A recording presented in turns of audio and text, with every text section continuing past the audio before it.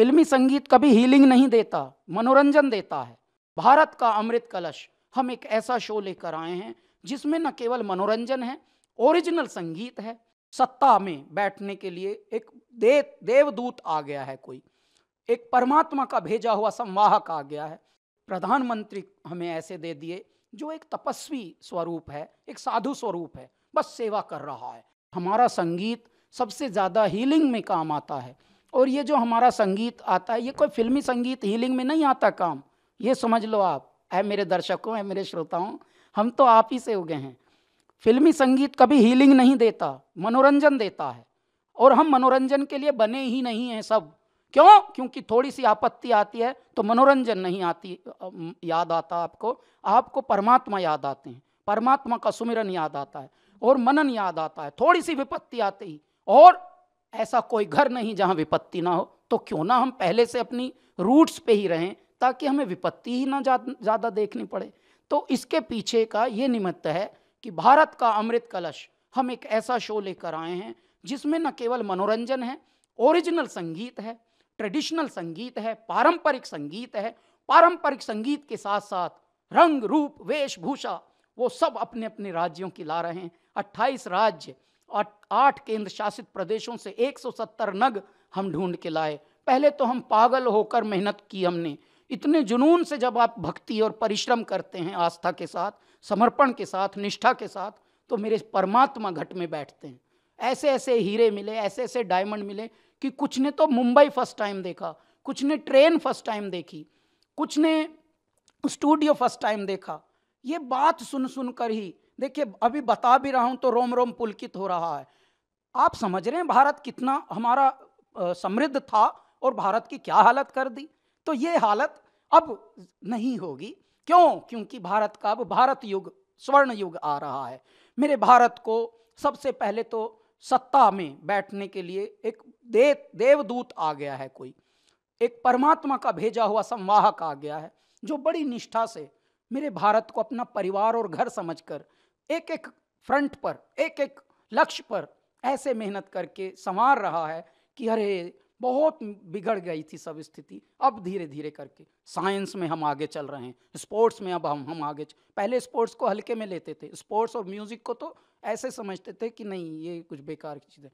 ये हो गया था, मानसिकता बिगड़ गई थी। अंग्रेज़ बनने को देख रहे थे और अंग्रेज़ अपने को एक्सेप्ट नहीं कर रहे थे। तो ये बीच की जो कड़ी थी, एक लॉट ये आ गया था और एक ऐसा जिसे डाउन ट्रोडन कहते हैं, जिसको फ्रंट में आने ही नहीं दिया जा रहा था, यानी उनको एम्पावर किया ही नहीं जा रहा था। आज मेरे भारत का भाग्य है कि इस तरह के प्यारे भारत को परमात्मा ने संवार दिया।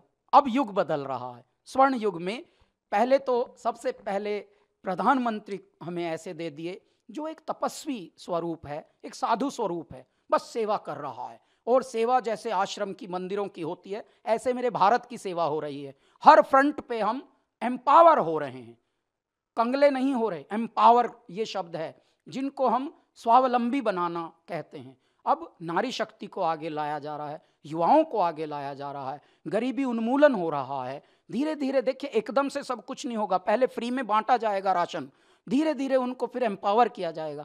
अगर सत्तर साल का रोग है, मान लीजिए, मैं तो हज़ार साल का रोग कहता हूँ, हज़ार साल का रोग क्या, दस साल में दूर हो जाएगा क्या? धीरे धीरे धीरे धीरे रे मना, धीरे सब कुछ होए। माली सींचे सो घड़ा, ऋतु आए फल होए। अभी ऋतु आ रही है परमात्मा का दूत आ गया, परमात्मा के दूत की मंडली आ गई। अभी भी बहुत अयोग्य लोग हैं, हमारे सत्ताओं में भी। लेकिन धीरे धीरे छंट रही है, काई हट रही है और दीमक हट रही है। पहले तो यहीं से शुरुआत हो गई। उसके बाद जब आप हर क्षेत्र में नेक नियत और निष्ठा और समर्पण से कोई कार्य करेंगे तो वो कार्य अनुष्ठान हो जाता है। आज हमारे जो गायक हैं, हमारे जो परफॉर्मर हैं, जो प्रतियोगी हैं, वो एक से एक भारत के दर्शन करा रहे हैं।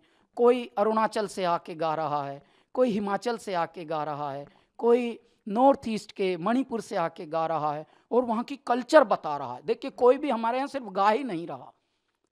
सिर्फ़ गाने के लिए तो बहुत सारे आपके पास साधन हैं। आप बटन दबाइए, फूहड़ से फूहड़ आपको मनोरंजन उपलब्ध हो जाएगा फ्री में। बदतमीजियाँ फ्री में उपलब्ध हैं, परंतु तमीज़ के लिए मंदिर जाना पड़ता है। और मंदिर आपके दूर नहीं है, आपके घट में है। आप हृदय में अगर शुद्धता रखेंगे, पवित्रता रखेंगे तो मंदिर है ये। मेरा दाता यहीं, मेरा परमात्मा यहीं बैठ, हर इंसान को पता होता है वो क्या घटिया काम कर रहा है और क्या घटिया बोल रहा है। लेकिन वही मंदिर को अवॉइड कर रहा है, अंदर का मंदिर बता रहा बैठ के, मेरा दाता। मेरे परमात्मा घट में बैठे हुए बताते हैं सबको, नहीं बे, तू गलत स्टेप ले रहा, तू गलत वचन दे रहा है, तूने आवेश में आके, क्रोध में आके बड़े का किसी का अनादर कर रहा है। तुझे पता नहीं तू किसका अनादर कर, तू मेरा ही अनादर कर रहा है। क्यों? क्योंकि उसमें भी मैं ही बैठा हूँ। दैत्य और दानव युगों युगों से रहे हैं। परंतु संहार, वध जो हुआ है, वो दानवों का हुआ है। कभी किसी ने सुना है कि देवों का वध हुआ? तो ऐसे में हमारी संस्कृति का पुनर्जागरण है ये। भारत का अमृत कलश। ये केवल मनोरंजन के लिए हम रियलिटी शो बना नहीं रहे। बावन एपिसोड का ये एक शो है। जो छः महीने तक चलेगा। डीडी नेशनल पर 24 फरवरी से शायम सात बजे से आठ बजे तक के प्राइम टाइम में ये आएगा। नाम देखिए, ऐसा है जैसे फिल्मी लोग कर रहे हैं, गोरेगांव फ़िल्म सिटी में शूट चल रहा है। देखिए, हमें भौतिक रूप में ही रहना होगा, परंतु बांटना अभी आध्यात्म को ही पड़ेगा, क्योंकि हर घर में बीमारी घुस चुकी है। पहले भारत बीमार नहीं होता था, पहले भारत झूठ नहीं बोलता था।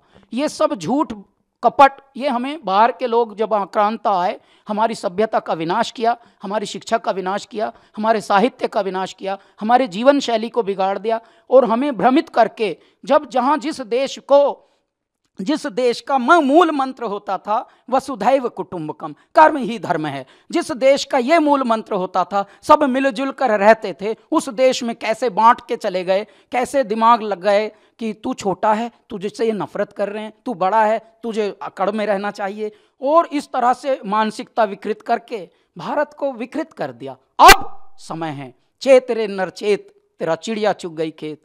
जो जगता है, वही जगाता है। आज ये जो शो है ये सिर्फ़ मनोरंजन के लिए नहीं है।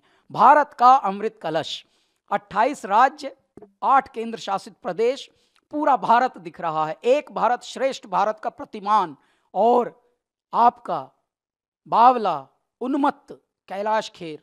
हमको कुछ और नहीं चाहिए। ना हमें स्टार डिग्री चाहिए, ना हमको रॉक स्टार चाहिए, ना हमें सेलिब्रिटी हम इस भारत के, इस संतति के, इस सभ्यता के सेवक हैं। Z News.